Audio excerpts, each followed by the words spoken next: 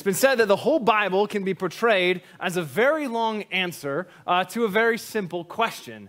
And that is what can God do about the sin and rebellion in the human race? What can God do about the sin and rebellion in the human race? Well, the Gospel of Matthew is going to propose an answer to that for us. And in doing so, he's going to point the whole time to this guy named Jesus. Now, the Gospel of Matthew, we call it the Gospel of Matthew because, according to church tradition and some other internal uh, criteria, it seems like the guy named Matthew, who was one of Jesus' apostles, is actually the one who wrote the book, but he never signed his name to it.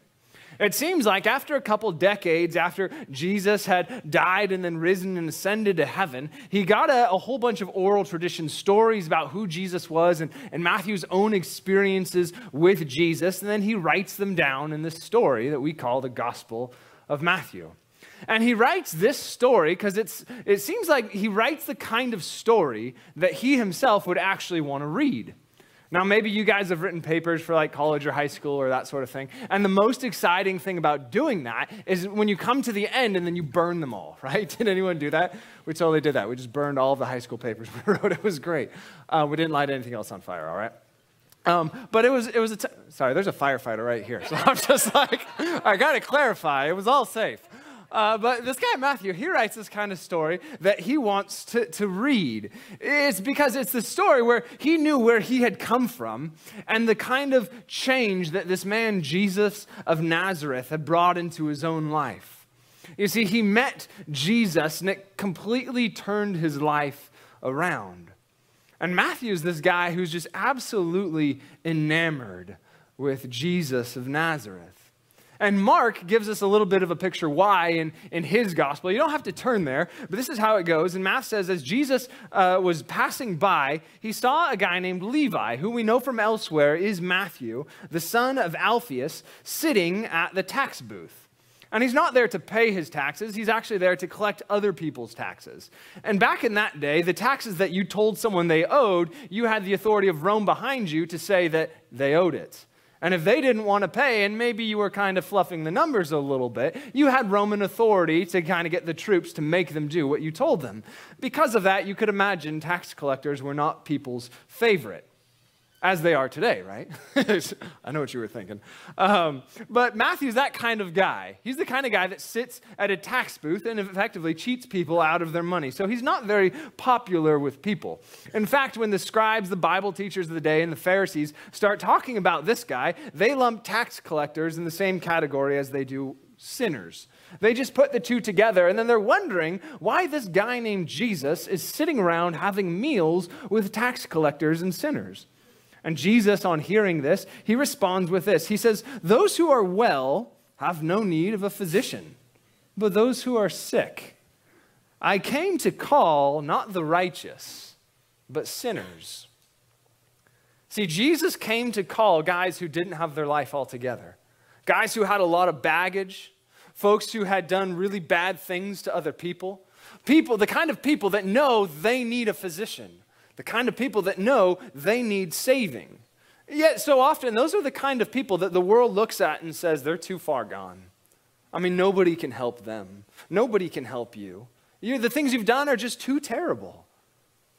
But in meeting Jesus, Matthew finds that his opinion is rather quite different. See, he gets to meet this guy, Jesus, and he wants to show us, I believe, as we go through this story that he's written, the Gospel of Matthew, that the pain and the loss and the havoc, the baggage that each of us bring here every Sunday morning, all the brokenness of our life, it can be met with this man, Jesus of Nazareth, who wants to offer us healing and life, who wants to turn your life around, much like he did this man, Matthew.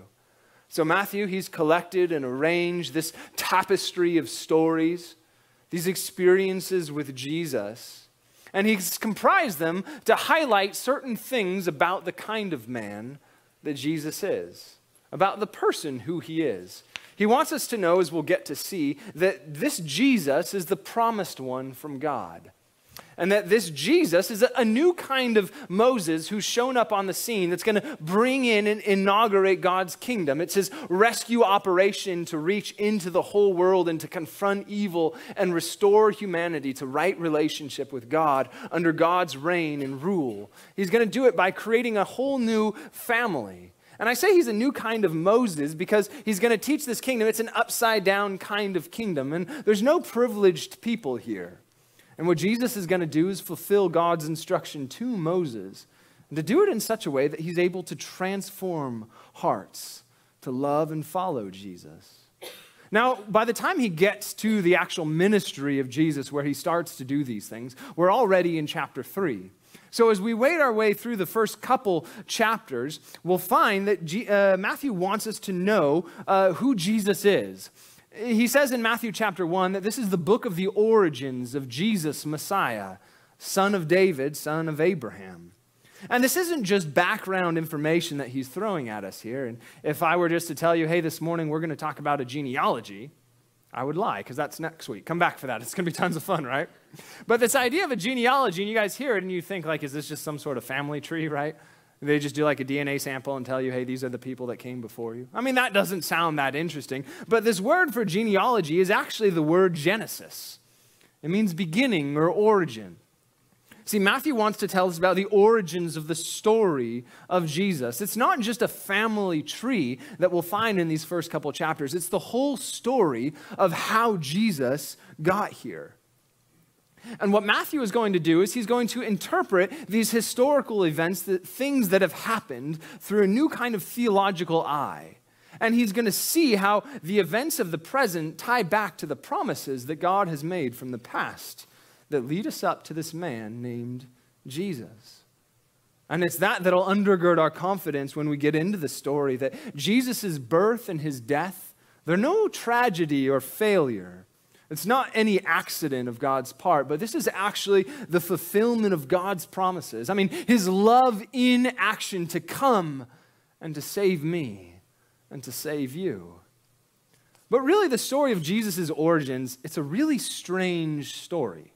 I mean, it's not just strange because we're about to start talking about Christmas and it's only September, right? But because our familiarity with these stories, it dulls our imagination and our attention to the detail that Matthew offers us.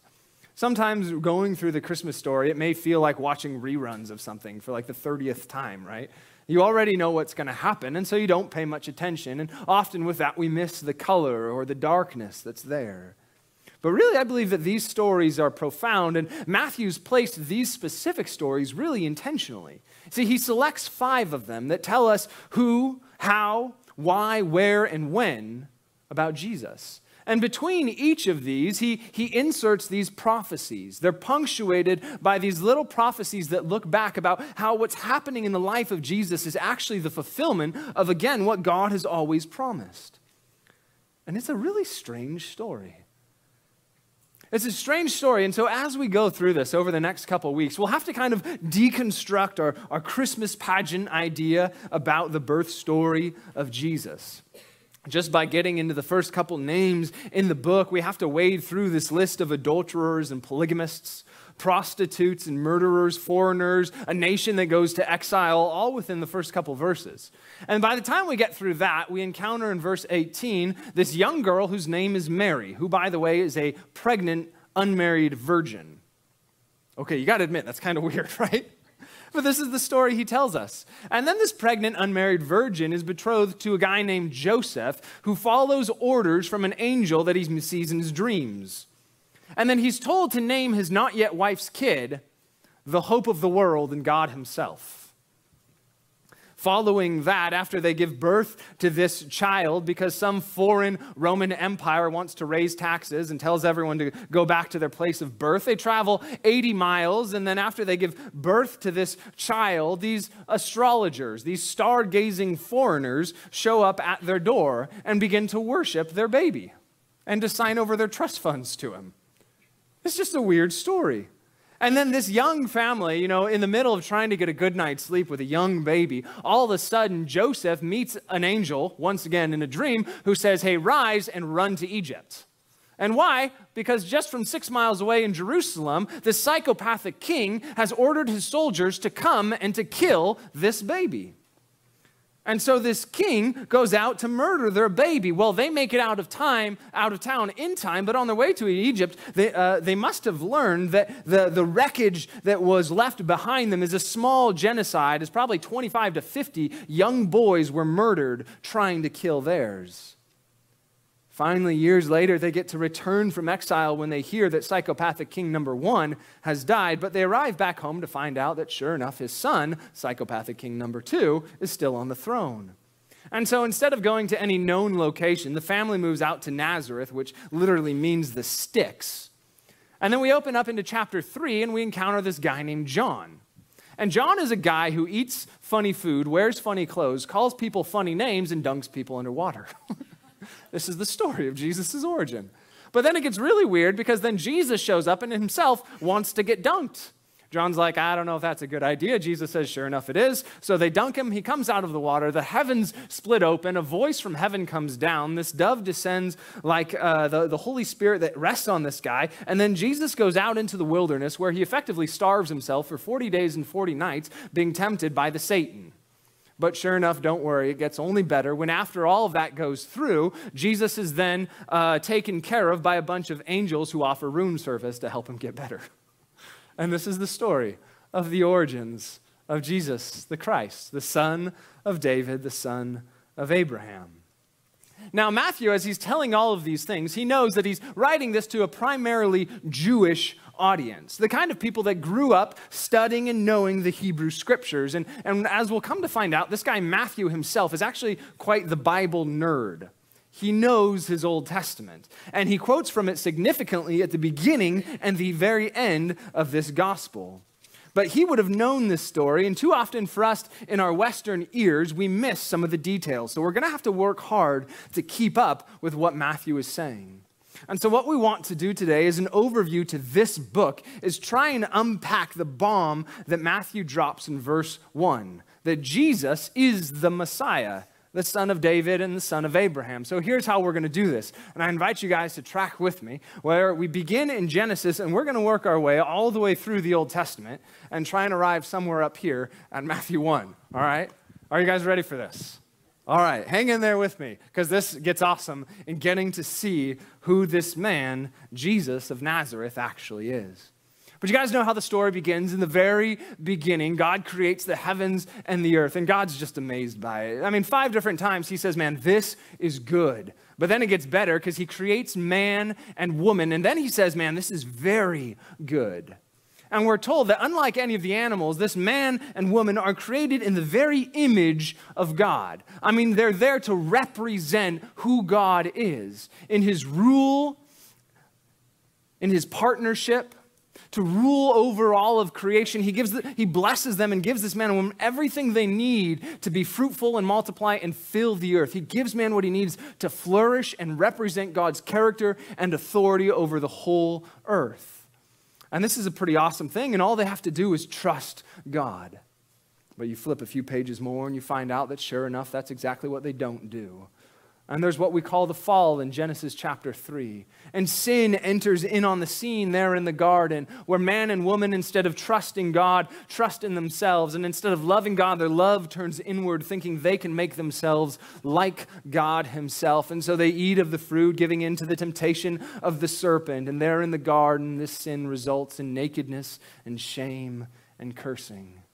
Things that we're too familiar with in our own day these fractured relationships now between God and man and between a man and his wife.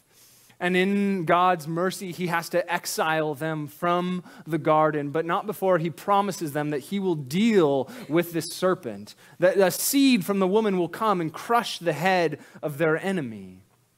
After that, they exit stage left towards the east out of the garden, and the story just spirals down from there. I mean, Genesis 3 through the, the, the next uh, eight or so chapters, just like flushing the toilet and just watching every, the whole world just spiral down. and brother begins to kill brother. A man kills a boy just for injuring him, just a little bit, just a bruise, but he murders him for it. Men begin to abuse women, and then there's this, this death beat that just beats throughout the chapters of death begins to reign in what used to be God's good creation. And as one author puts it, he says, The world unraveled as sin enfolded humanity in its tentacles destroying God's good creation to the point where God gives this kind of state of the world speech in Genesis chapter 6. And Yahweh saw that the wickedness of man was great on the earth, and that every intention of his thoughts of his heart was only evil all of the time. How did we get to this? Better yet, what is God going to do about this? And God knows just what He's going to do, and He pushes the reset button and He sends a flood to wash it all away, to wash humanity away. But because God is gracious, He preserves one man and his family. Despite human evil, God decides to make what's called a covenant with this man. And it's this agreement between two parties where they partner together for the mutual good of the other. And in most covenants, both sides have some sort of role to play, but uniquely in this first covenant, God makes promises and requires nothing of man. God's promise is that he will be gracious and that until the end of time, man's existence will owe only to his grace, as he will never again destroy the earth by a flood. And so, God, like a warrior who's finished his battle, sets his bow down in the sky as a reminder of this promise. And it's a warrior's bow that he sets down, but it's a bow that's not pointing down at the earth, but pointing up into the very heart of heaven, because the story is not over yet. Man has been saved, but there's another garden sin. And so Noah comes off of the ark, and shortly thereafter, he plants a vineyard. He grows a bunch of grapes, he harvests them, he got his toes all squishy, smushing them around or something, and then he makes all this wine. He gets drunk, and some sketchy thing happens in his tent with his son. And all of a sudden, after this, we see that uh, there's another story of nakedness and of shame and of cursing. Does it sound familiar? You see, the judgment of God washing the earth clean, it may have changed the topography of the land, but it did not change the heart of man. So, as one author writes again, that Noah is instructive because it shows that being given a fresh start and a clean slate is an insufficient remedy for the human plight. See, something more will have to change. What is God going to do about the problem of human sin and rebellion? He's promised to preserve the earth in spite of the human condition, but something is going to have to change if we're to see creation ever be good again. But frankly, the toilet's not done flushing and things just keep spiraling down and down and down. Then eventually they spiral up and up and up in what's known as the Tower of Babel. And it's man building this frontal attack, not trying to climb so much the corporate ladder as the divine one, because man gathers himself together to put a frontal attack on God and ascend themselves up into heaven. Well, they don't get there because God actually has to come down to see what's going on. And he shows up, and instead of just stepping on their tiny little tower, he decides to be merciful and not destroy them. Instead, he confuses the language and he scatters man, forcing them to obey his command to be fruitful and multiply and to fill the earth. Interestingly enough, here we see this little picture early on in Scripture of God choosing to love his enemy instead of destroy them. Something, if you fast forward down a way, you'll find Jesus speaking of in Matthew chapter 5, admonishing us to do the same, to love your enemies.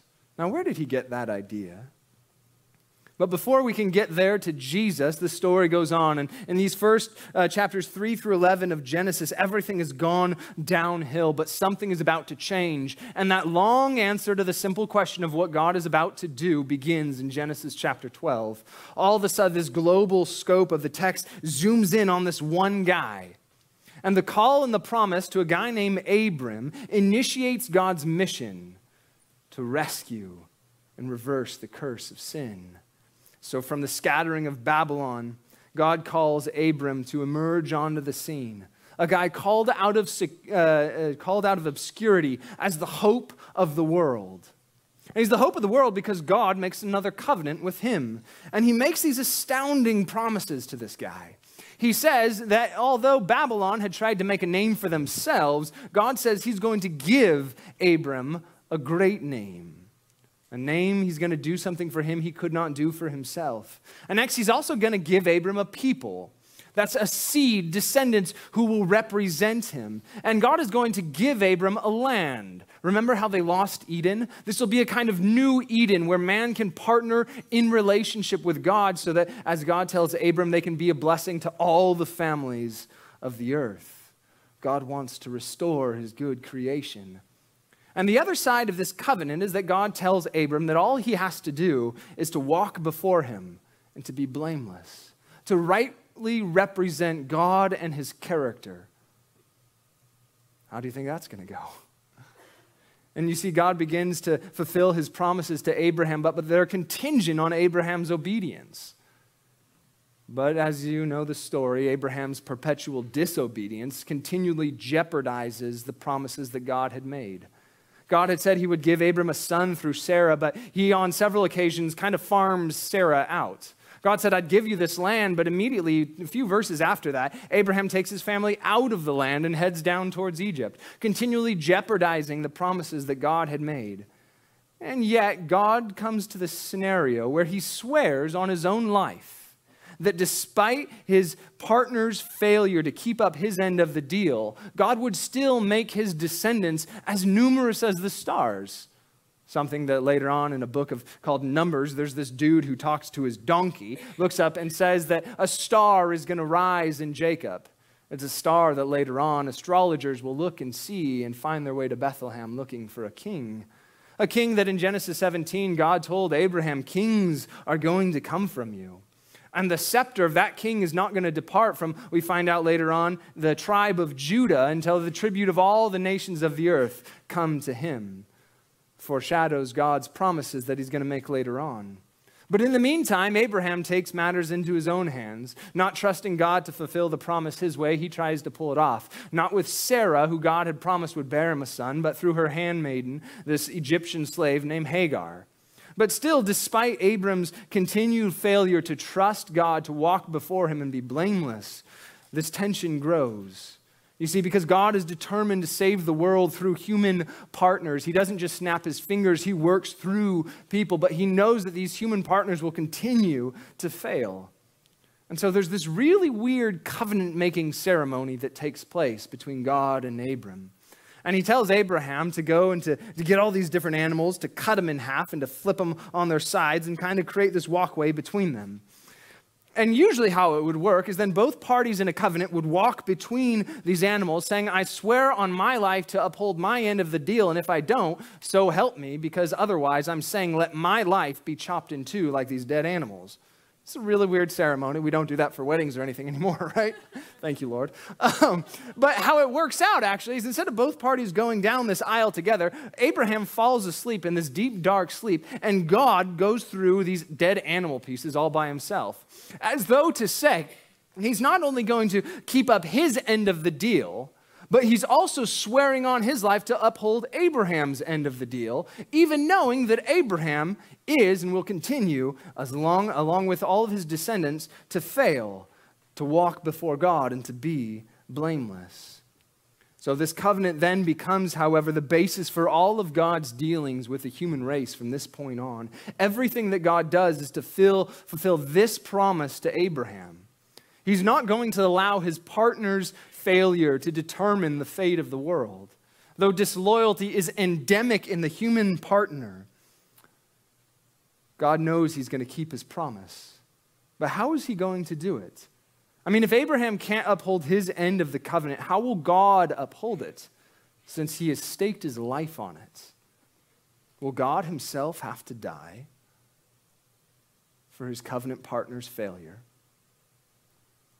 And through the rest of the story, despite the failure of God's human partners, God never retracts or fails on his promises, no matter what it costs him.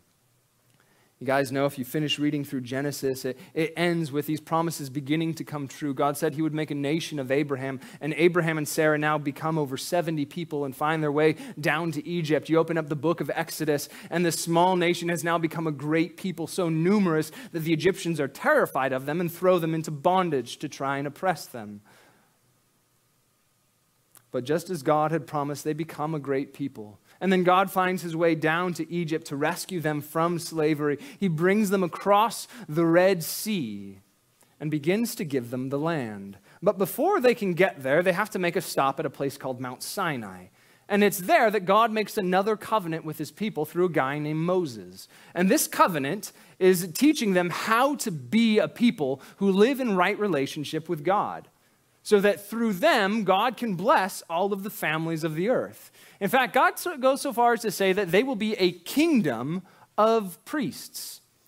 Priests who represent God to the rest of humanity, who represent true human partnership with God and walk in right relationship with God. And so there's these two verses in Exodus chapter 19 that are just as important as those in Genesis 12 and John 3:16 where God says, hey, if you obey me, then there will be life. But if you disobey, then there will be cursing and exile. And this is an opportunity for Israel to say, we want it or we don't want it. And three separate times they sign the dotted line we will be faithful, we will obey. You know how the story goes. And as this tension develops, where God says obedience brings life, he says it to a bunch of people who can't obey.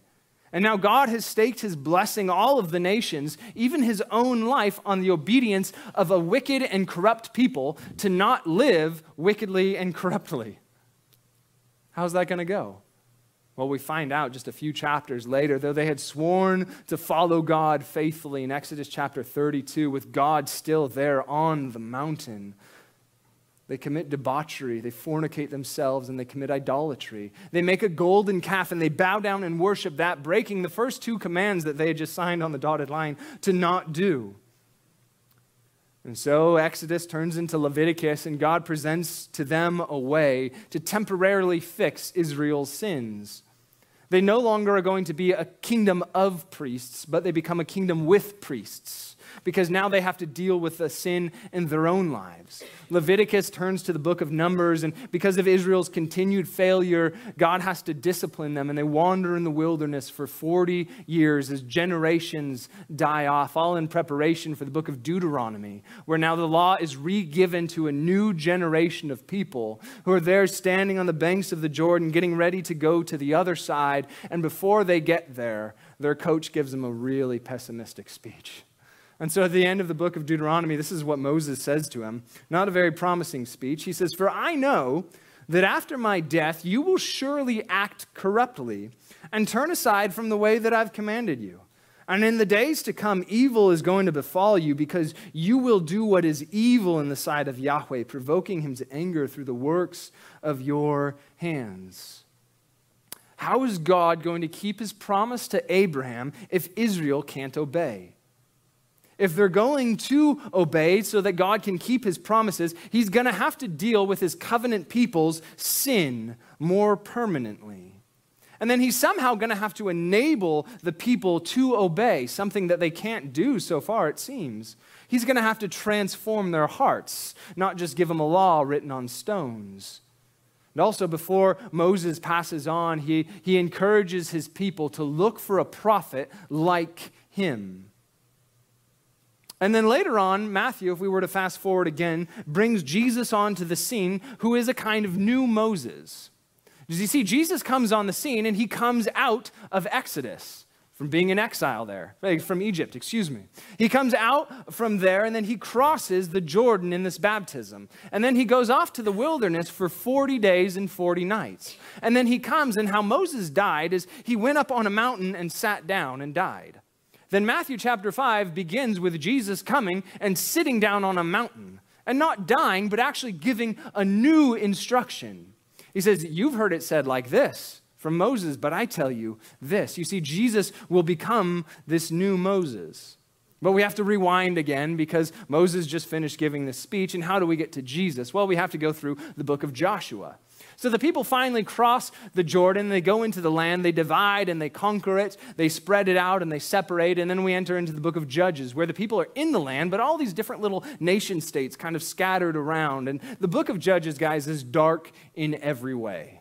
all right? Not the sort of thing you so much study on your honeymoon or something like that, right? It's just depressing. This cycle just keeps repeating itself where the people break the covenant with God. And then God sends some thing or, or some nation to discipline them. They carry that burden for a while until finally they're fed up with it. They repent and call out to God, who then sends a hero to save them, a guy maybe like Gideon that we talked about a few weeks ago. They get saved and then they're doing uh, good for a little bit of time, but then all of a sudden they just go back and break the covenant again. And again, another nation comes in, and the cycle just keeps repeating itself throughout the whole book until we get towards the end. And then there's this little refrain that kind of tells us a bit of what's going on here. And in Judges chapter 21, we're told that in those days there was no king in Israel. And so everyone did what was right in his own eyes. It would seem to imply that a king could somehow help the people out here. But because they didn't have a king, they didn't have a faithful representative to model right relationship with God. It was just this scene of moral relativism, and everyone just did what they wanted rather than following God. The absence of a king here is a bad thing. And so at the end of the book, Israel is asking for a king, but they're not asking for a king for the right reasons. They don't want a king who models Yahweh and his law to them, they want a king like the nations. And so you flip the pages and you're in the book of 1 Samuel, and that's exactly what God gives them. A king who's a stud of a man, but also a bit of a coward. Turns out he has no heart to follow God. He's a total flop. His name is Saul. He's throwing spears at this little shepherd boy whose name is David, who's quite the harp player. And David is the one that God invites to become king, a man after his own heart. And it's at the end of, towards, uh, actually the beginning of the book of First Samuel, where the nation of Israel is almost at its height. I mean, the Ark of the Covenant that represents the throne of God had just come into this new capital in Jerusalem, and we're told that there's peace and justice all around David and his empire. And it's in that situation where a man is rightly following God's law that there's peace and justice, and God is enthroned, and he comes and he makes another covenant with this guy named David. And God promises to give David a great name the thing that Babylon couldn't achieve for themselves, and all of the promises that God had given to Abram, now he channels those in through this servant David. See, what God had planned for the nation as a whole, it's now to be implemented through the king and his leadership. They need a king who will follow God.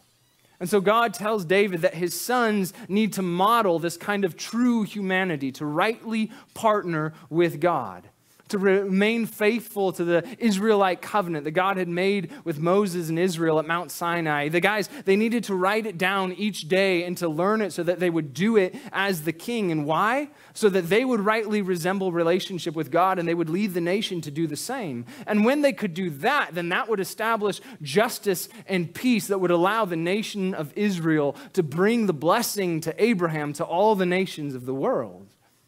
But God further promises, and he goes on to say that he will discipline any disobedient son of David who does not rightly model God and his standards, who fails to live up to the law. But eventually, a son, he says, will come who will obey perfectly. See, God promises a future king who will faithfully follow him and so actually be able to lead the people to peace and to justice and to being a blessing forever. In 2 Samuel 7, where this covenant takes place, God says, I will be to him a father, and he will be to me a son. So whoever this son is will be both a son of David, but also a son of God. Again, fast forward, and you remember the scene where the, the heavens break open as Jesus comes up out of the water, and a voice from heaven comes out and says, This is my son my beloved Son. Could that really be who Jesus is? But still, in the story, there's this tension because as long as David's sons disobey, the kingdom cannot be secure forever. And the psalmist says it's an if then relationship. That Yahweh swore to David a sure oath from which he will not turn back. One of the sons of your body I will set on your throne if your sons keep my covenant and my testimonies that I teach them. Then their sons also forever shall sit on your throne. And then Jesus comes later and he says he's not a, someone who's come to abolish the law, but actually to fulfill it, to be the faithful son who can keep God's covenants. And then we go into the book of First Kings, and God's promises are coming true. But the unfortunate side of those promises, where Yahweh says to Solomon, Hey, since this has been your practice and you have not kept my covenant and my statutes that I've commanded you, I will surely tear the kingdom from you and will give it to your servants. God's promise about disciplining David's sons comes true, and he takes the kingdom away from Solomon. It goes to Solomon's son, this dude named Rehoboam, who's quite the fool, and he ends up dividing the entire kingdom into two because he's not committing himself to God's covenant. And so we find that the unfaithfulness of any of David's descendants will only lose them the kingdom. If God's kingdom is to come and establish justice and peace, they need a faithful representative. So the tension continues. As the king went, so goes the nation. And eventually they lead the nation off into exile exile from the land that was going to be the new Eden where man could be in right relationship with God. We go into the book of Second Kings, and this is what we find disobedient kings always bring ruin.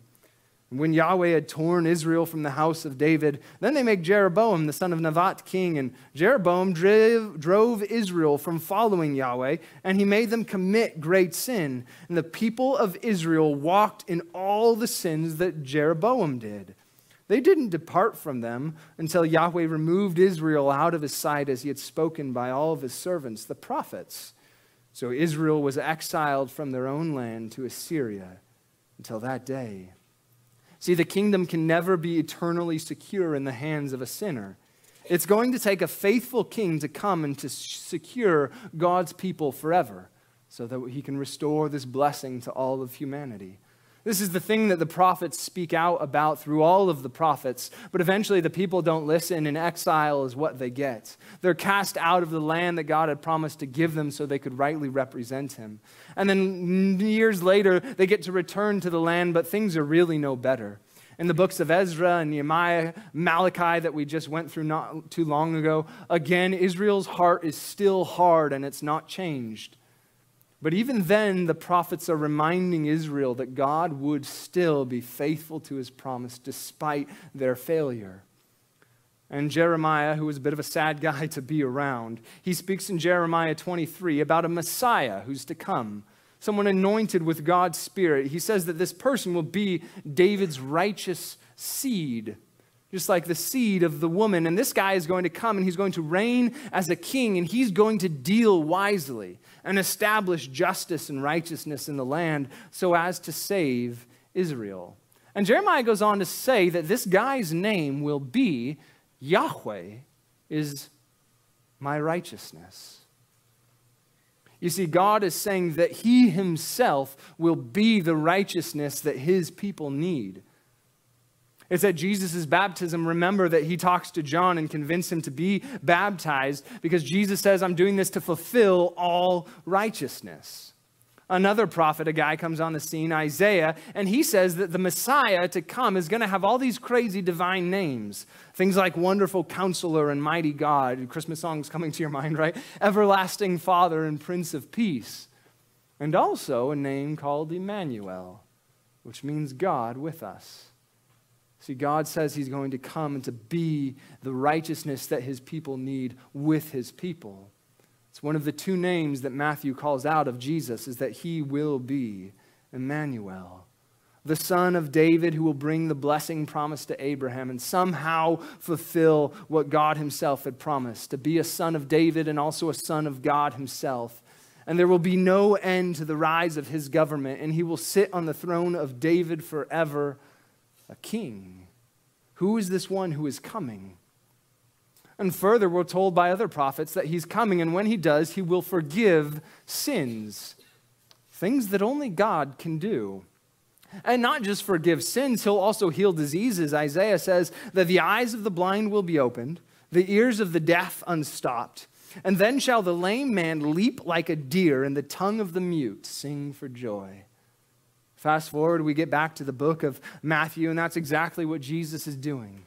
He's giving uh, hearing to those who can't hear. He's opening the eyes of the blind. He, he gives feet to the lame man. He gives tongue to the mute, all fulfilling the promises that God had made. However, when we get to the end of those Hebrew scriptures, and we come to those blank pages, it's for centuries that the Hebrew people are waiting for this guy to come, and he hasn't. They're waiting for someone who's going to come and step on crushing the head of the serpent.